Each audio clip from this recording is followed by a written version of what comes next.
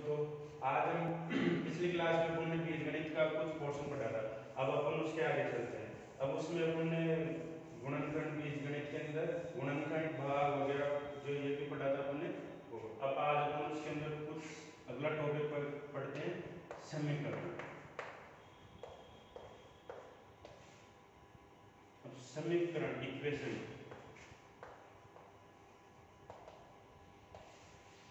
अब इक्वेशन है इक्वेशन के अंदर क्या करोगे आप?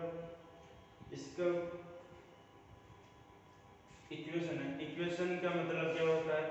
भाई, अगर बराबर है, दो संख्या, बराबर समान चिन्ह की हो उसको बोलते हैं अंकित हुई हो। मतलब बीज गणित अंकित जैसे इसको मान लिया अपने x, इसको मान लिया अपने x अगर दो समान संख्या, समान चिन्ह से अंकित हो समान चिन्ह से अंकित हो तो उसको बोलते हैं अपन समीकरण। अब समीकरण कैसे होगा?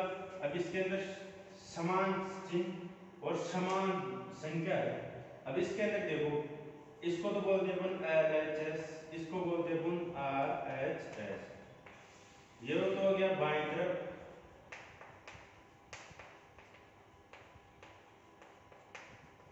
ये हो गया दाएँ तरफ़ से। अब इसमें क्या करते हैं अपन? इसमें ये करते हैं कि भाई, ये तो एल एच एस इसको अपन इन दोनों को बराबर का चलेगा अब इन दोनों को साथ सोल्व करते हैं। अब इसको सोल्व करने के लिए आगे अपन को दो तरह के समीकरण दे रखे अब दो तरह के समीकरण कैसे होगा? अब ये देख, दो तरह का क्या मतलब? इसके अंदर एक हो गया सरल। एक हो गया फ्रैक्शन। सरल का सिंपल इसका फ्रैक्शन हो जाएगा। अब इसका क्या, सरल का मतलब जैसे x plus one equal to x plus two ये तो अपना सरल हो गया। भिन्न के अंदर x बटे सिक्स प्लस एक्स बटे एट इक्वल टू एक्स बटे टेन ये अपना भिन्न हो गया। सरल भिन्न अब सरल के अंदर अपन को x का मान भिन्न वो एक ही बात है, लेकिन इसके अंदर भिन्न आ जाता तो भिन्न के अंदर क्या करते हैं अपन? एलसीएम लेके इसको सोल्व करते हैं और इसको डायरेक्ट सोल्व करते हैं इसको इस पार्ट में देना है। उसमें दो पोर्शन इधर। अब इसमें भी x का मान निकालना पड़ता है। इसमें भी x का मान निकालना पड़ता है। अब इसके अंदर देखो आप। अब सरल वाले में देखो ये बात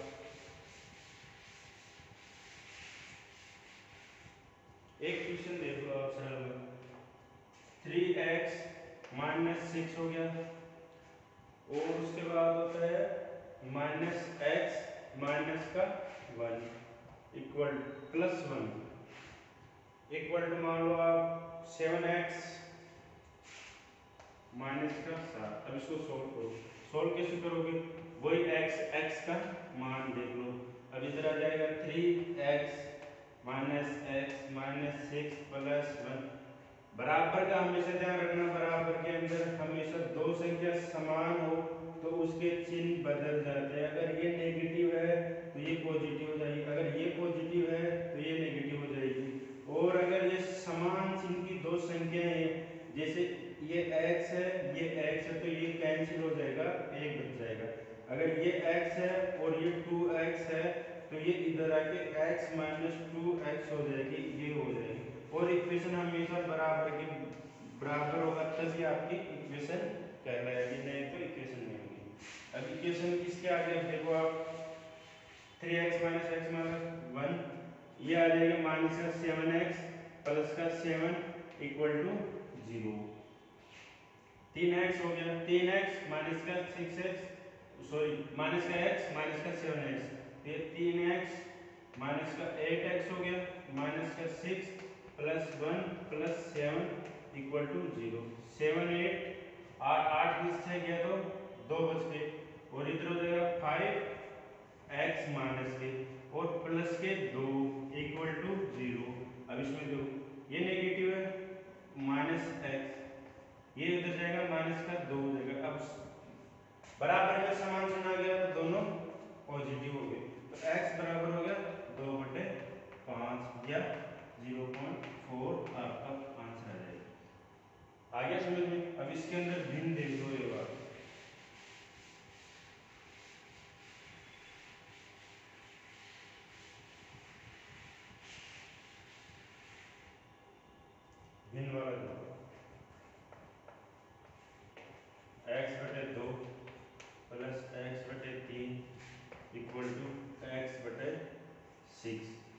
अब इसका भिन्न को सोल्व करने के लिए दोनों तरफ़ ये एल एच एस या आर एच एस तो L H S R H S में एक्स इसको अपन एस इसका एलसीएम इसका एलसीएम अब इन दोनों का एलसीएम क्या जाएगा? छः एलसीएम छः आने का कारण क्या है? क्योंकि दो का भाग भी जाता है और तीन का भाग भी जा रहा है। तो दो का भाग तीन। तीन बार गया। अब x से मल्टीप्लाई करोगे थ्री एक्स प्लस तीन का भाग दो बार गया दो को x से मल्टीप्लाई करो two x equal to x बटे सिक्स समान संख्या आ गई समान चिन्ह है तो ये दोनों कैंसिल हो जाएँगे। यहाँ पे वन बचेगा यहाँ पे वन तो वन का कोई महत्व नहीं होता तो ये हो जाएगा three x plus two x equal to x तीन और दो, पाँच एक्स इक्वल टू एक्स अब ये एक्स इधर आ जाएगा तो ये हो जाएगा four x minus equal to one. X बराबर एक बटे चार आपका आंसर आ जाएगा। सही है?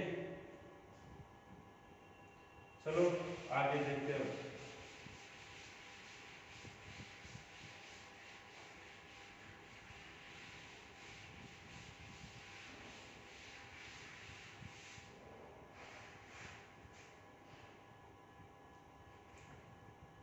एक गुणनखंड देख लो x square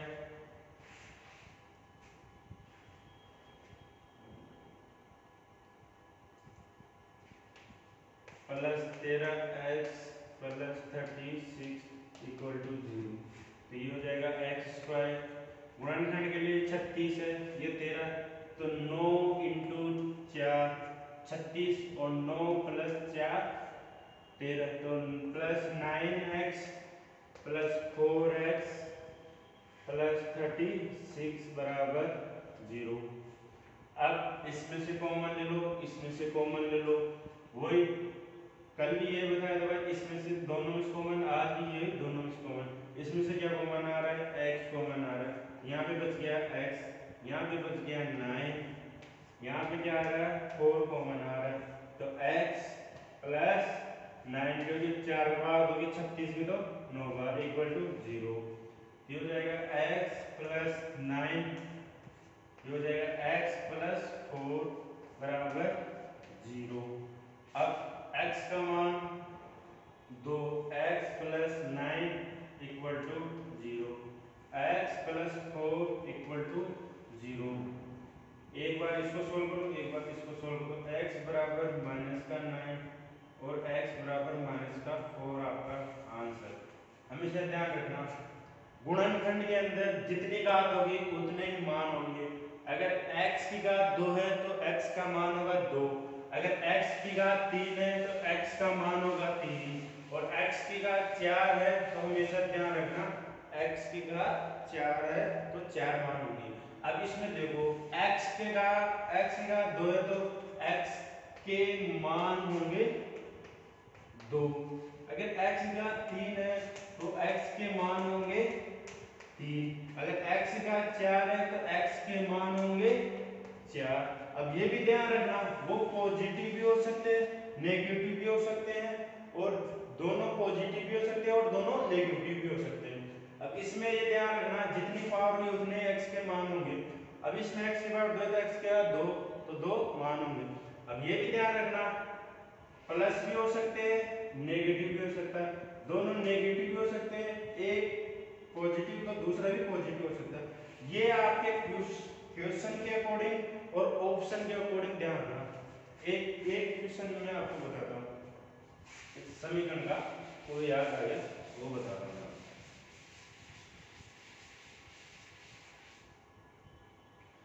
X square minus four equal to zero अब मैं आपको ऑप्शन देता हूँ। एक ऑप्शन प्लस टू। दूसरा ऑप्शन माइनस टू। तीसरा ऑप्शन प्लस माइनस टू। और चौथा ऑप्शन और चौथा ऑप्शन हो गया नन ओ अब आपको उसको बताओ कैसे होगा। अब इसमें देखो आप। एक्स स्क्वायर बराबर फोर अब x, क्योंकि वर्गमूल लोगे आप।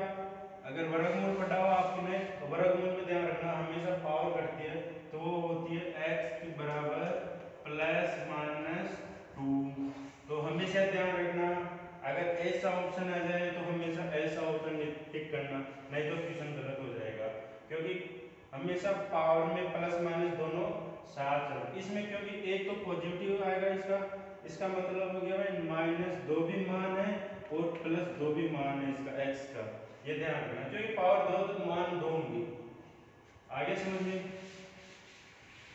ऐसे ध्यान रखना, क्योंकि इसमें ये ये तो गड़बड़ होती है। अब आपको कुछ बीज गणितीय सूत्र पढ़ते हैं। कुछ आपको मैं बीज गणित बीज गणितीय सूत्र बताता हूँ।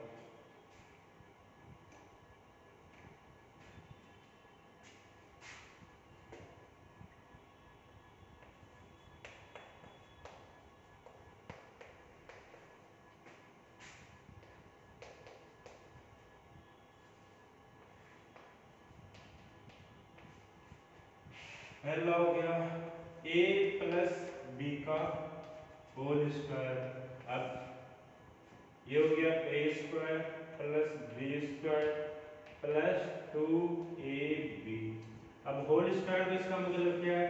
A plus b into a plus b अब आप इन दोनों को मल्टीप्लाई करो। ए का ए से करो। ए स्क्वायर हो गया। A का b, a का b से करो। प्लस ए बी हो गया। अब बी का ए से करो, प्लस ए बी हो गया। अब बी का बी से करो, प्लस बी स्क्वायर हो गया। तो क्या आया? A square plus two a b plus b square. ये डायरेक्ट सूत्र बन गया ना? तो ये आपको सूत्र इसलिए अगर टाइम बचे एग्ज़ाम के अंदर। कोई सा भी एग्ज़ाम हो आपको अगर ऐसा अगर आपकी क्वेश्चन देते वो इसके अंदर कैसे क्वेश्चन देते वो एक बार देख। जैसे मान लिया आपको क्वेश्चन दे दिया। One plus four plus two four दे दिया आपको। इसमें फोर वन प्लस अब इसमें के से अभी तो संख्या है तो इसमें मतलब मैं मानता हूँ वन हो गया। इसको मैं मान लो आपको। ए की पावर